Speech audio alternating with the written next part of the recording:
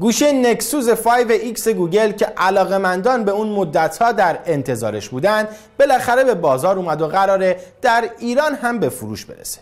البته نه به صورت رسمی.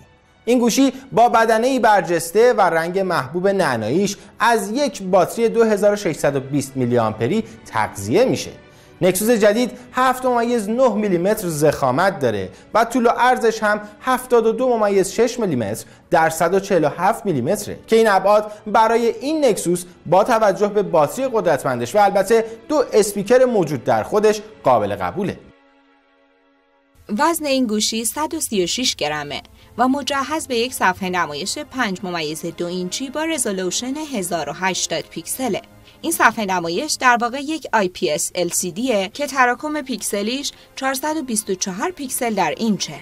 پردازنده 6 هسته‌ای 808 Snapdragon به همراه پردازنده گرافیکی Adreno 418 قلب تپنده این گوشی رو تشکیل میدن.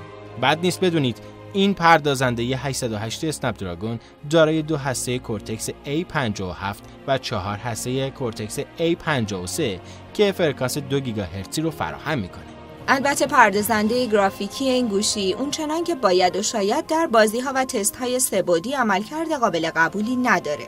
از نکات دیگه این پردازنده پشتیبانی از فناوری نسل دوم شارژ سری یا کویک چارج تو تکه همچنین این گوشی از شبکه های LTE هم پشتیبانی می‌کنه. این گوشی مجهز به 2 گیگابایت رم LPDDR3 که شاید آنچنان قدرتمند نباشه ولی مطمئنا برای استفاده های معمولی مشکل آنچنانی با این مقدار رم نخواهید داشت.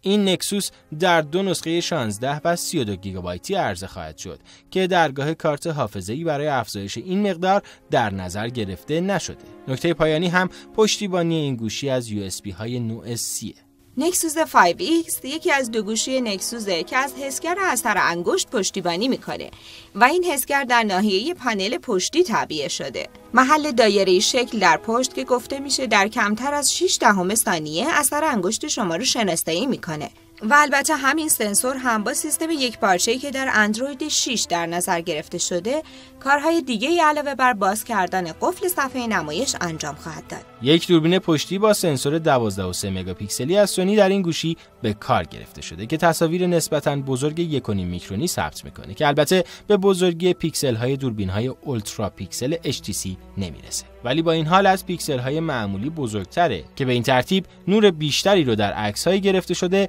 مخصوصا در محیط های کم نور برای شما به ارمغان میاره. همچنین این دوربین توانایی تهیه فیلم هایی با کیفیت 2K و 4K رو تا 60 فریم بر ثانیه داره. ولی متاسفانه پردازنده این گوشی تنها تا 30 فریم بر ثانیه این دوربین رو می‌تونه یاری بده. در قسمت جلو هم یک دوربین سلفی 5 مگاپیکسلی برای تهیه های سلفی و یا های تصویری در نظر گرفته شده. نسخه معمولی این گوشی با قیمت 379 دلار به فروش می‌رسه.